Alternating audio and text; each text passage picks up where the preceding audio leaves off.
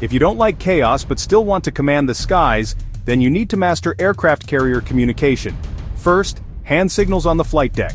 Flight deck crew wear color-coded shirts and use precise gestures, because engines are roaring and radios don't always cut it. Yellow shirts direct aircraft on the flight deck. Red shirts handle weapons and ordnance safety on deck. Green shirts manage catapults and arresting gear operations. Next, the sound-powered phone, no electricity required, just voice. It's perfect for emergencies when power is out. Then, the ship-wide PA system called the 1MC. It's the carrier's megaphone, used across the ship, announcing aircraft launches across the deck and ship, alerting crew instantly during emergencies across the ship, calling daily announcements and meal times across the ship. Pilots mostly use radios but strict lingo keeps things clear. Radio brevity, Roger means message received and acknowledged. Radio brevity, Wilco means will comply as ordered.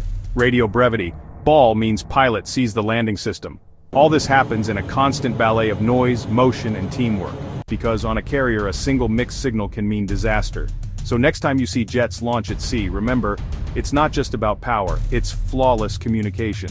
That keeps everyone safe and flying high every day. Hit like if you learned something new about carrier comms.